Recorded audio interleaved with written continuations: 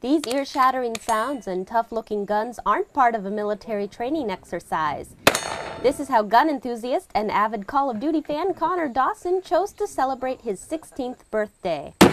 What more fun for a bunch of 16-year-olds than a machine gun party? The boys and their fathers got to shoot an Uzi 9mm, an M60 machine gun, and a 50 caliber rifle that really packs a punch. What did it feel like? Someone punched me very hard and then punched me in the face again. The range is owned by Rob Androina, who also owns Exeter Arms, a gun shop in Exeter, Nebraska. In addition to selling to hunting and sports enthusiasts, Rob holds a unique classification. Class 3 dealer is a special license that allows me to sell fully automatic weapons and silencers to federally approved individuals and government agencies.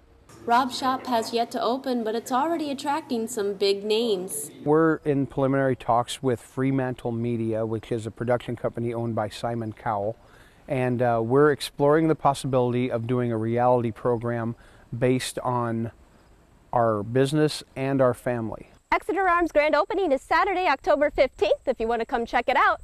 For the Omaha News, I'm Jessica Ritchie.